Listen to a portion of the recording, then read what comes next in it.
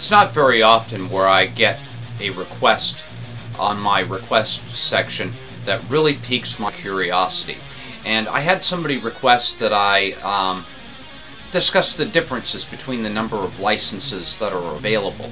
Specifically, the GNU General Public License, the LGPL, the BSD license, the MIT license, and just for good measure, I thought I'd throw in the EULA, E-U-L-A, and we're going to discuss all that right now on Spatry's Cup of Linux.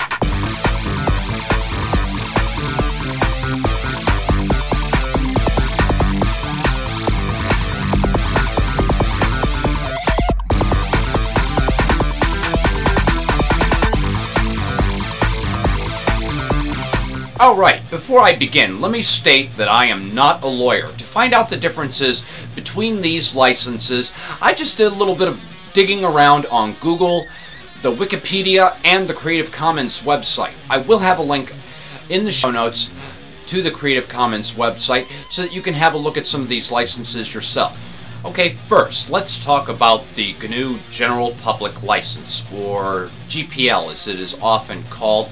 This is the most common license that is accompanied with free software that is in use today.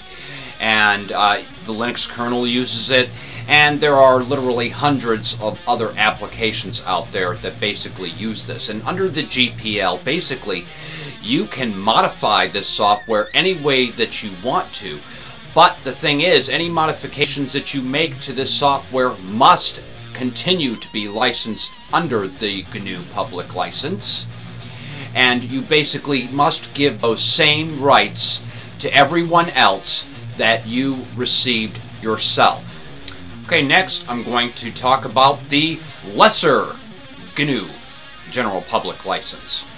Now, the LGPL, as it is called, is like the GNU Public License. However, maybe you might have some proprietary libraries and that sort of thing that you want to be able to link to. You can modify the software and you of course will return that code back providing the same freedoms with the exception of the code necessary for the proprietary drivers uh, if that is my understanding of it after reading through that. So pretty much it's, it's similar, but the thing is this allows you to use uh, proprietary or non-free software with it. Okay, now I'm going to talk about the BSD license. Now, the BSD license, uh, in contrast to the general public license, uh, is very permissive. Used originally by the BSD operating system, it covers a fair amount of software in use today. BSD basically says, here's the source code, use it however you want to, but if you have a problem with it, it's your problem.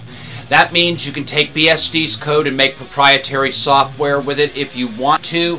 Uh, there's nothing saying that you have to contribute anything back to the code, but it is nice if you choose to do so.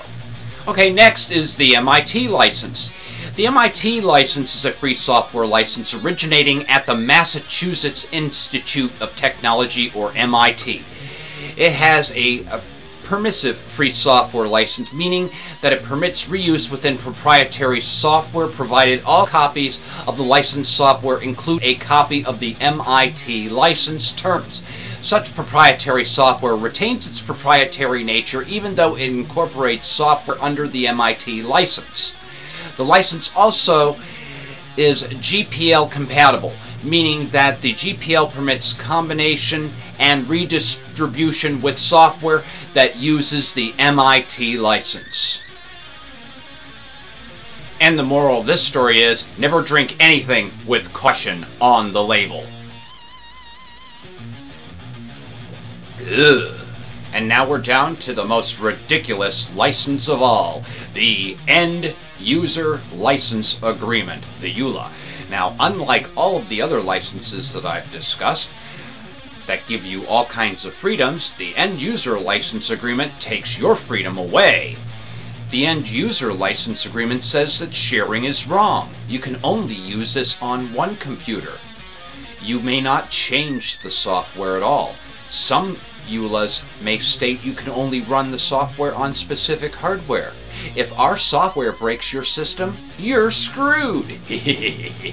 okay, now I have a headache after uh, going through all of that legal mumbo jumbo with all the licenses and that sort of thing.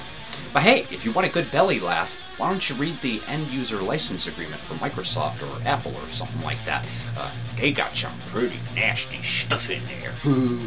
and if there's anything I didn't cover in this uh, little video snippet, um, please put it in the space below to share with others.